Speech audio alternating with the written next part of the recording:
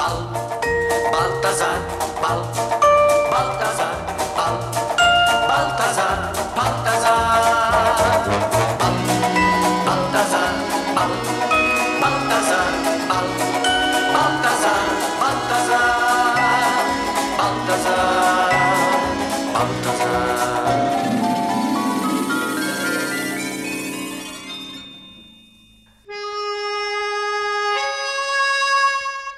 Professor Balthazar's town, it was summer.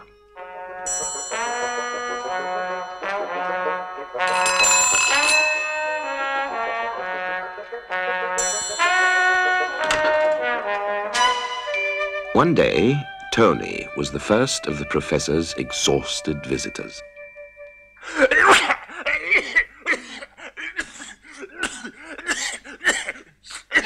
He wasn't able to tell the professor exactly what had happened.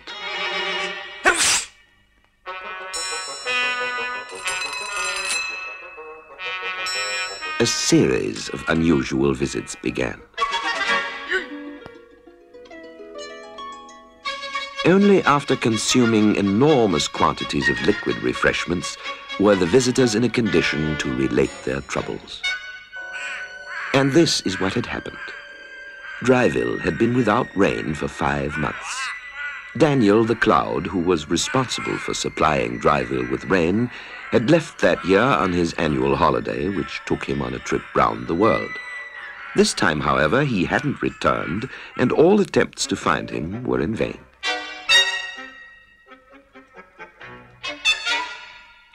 The situation was dry indeed.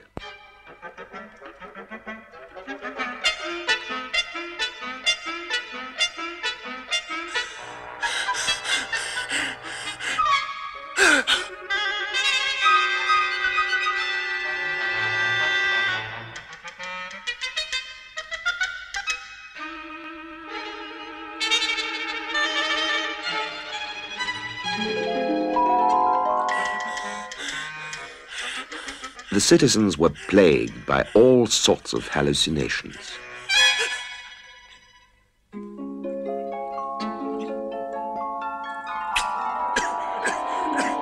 Some tried to make do as best they could.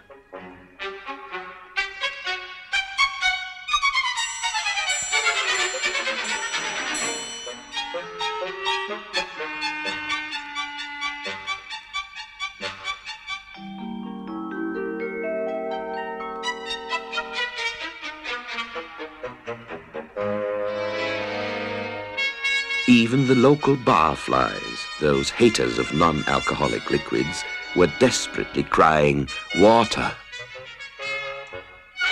Vote!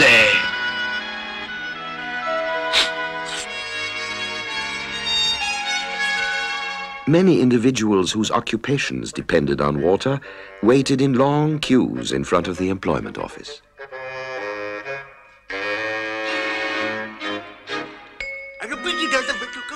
Delegation from the Sahara in the city on an official visit was horrified by the conditions and cut short its stay, not even waiting to sign the joint declaration.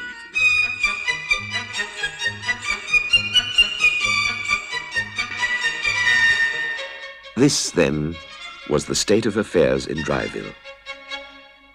Professor Balthazar thought and thought and thought and came up with an idea.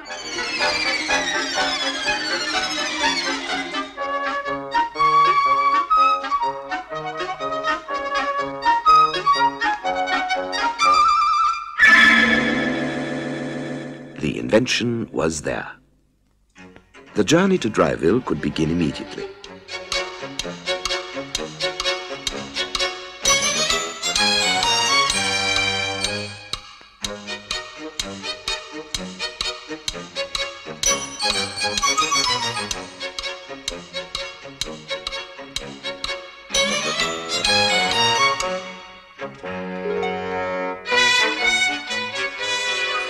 The first task was to discover where Daniel the Cloud was. And so the professor set up his radar cloud tracker.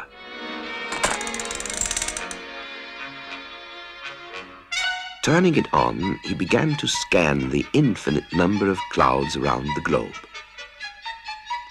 And the arrow pointed to England.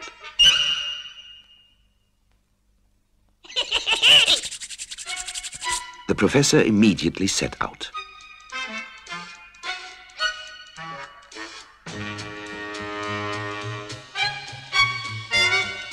He first traveled over the ocean.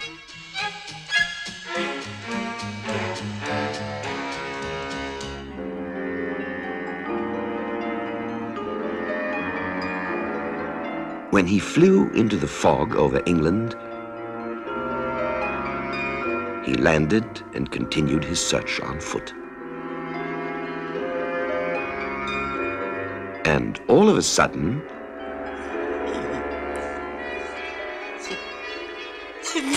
Professor Balthazar, what a surprise! cried out none other than Daniel the Cloud. He told the professor how he had wandered into the dreadful English fog and for months had not been able to find his way out of it.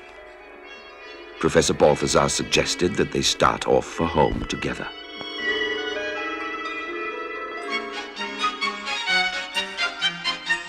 Having finally gotten out of the fog, Daniel felt like a new cloud.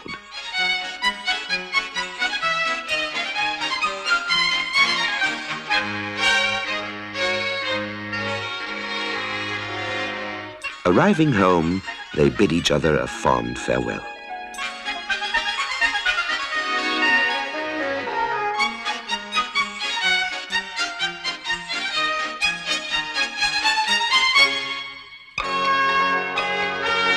Dryville, there was rejoicing everywhere.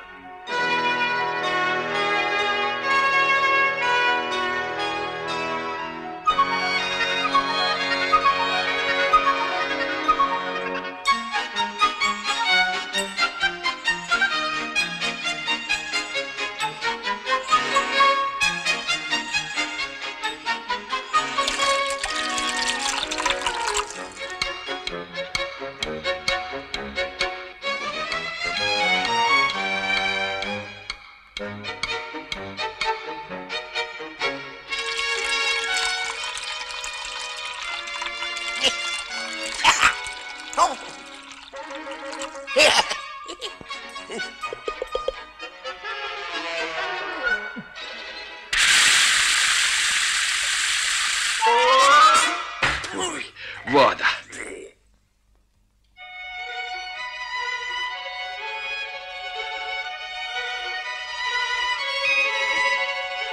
From time to time, the professor sent Tony with a book for Daniel to help him pass the time.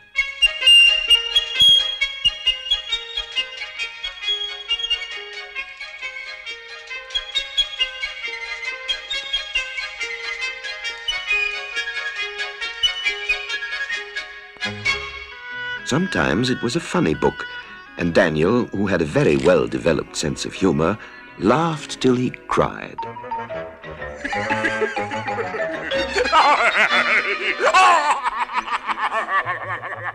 Then Dryville was in an entirely different kind of trouble.